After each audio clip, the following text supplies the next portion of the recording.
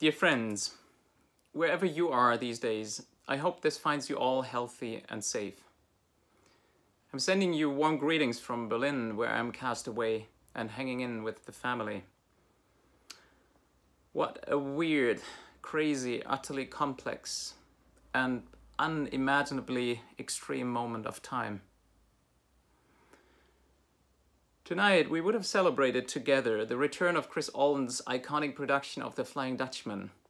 And I was especially looking forward to share this moment with you, as it would have precisely marked my 10 year anniversary at the COC. The Flying Dutchman was the very first opera I conducted here after my appointment as your music director.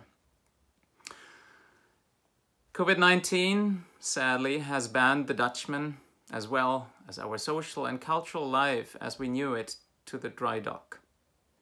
But let's be optimistic and look ahead to when we will eventually return to the stage. The desire for the transformative magic that happens when we get together, the lights go down, the music starts, and the curtain rises. In the meantime, let's keep in touch and stay connected virtually. In the weeks and months ahead, we will be sharing new digital programming via our new digital content hub. Since you are unfortunately unable to come and enjoy opera at our home, the Four Seasons Center, we will bring opera in its boundless possibilities to you and your homes.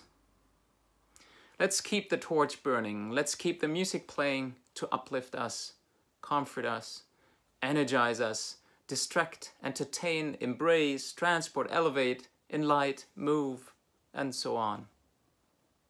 I would also like to take this message as an opportunity to thank you all wholeheartedly for your great and continuous support, especially in this challenging moment.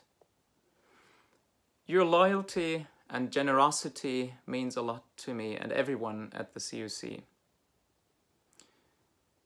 Be well and stay healthy and safe. I can't wait to see you all again soon.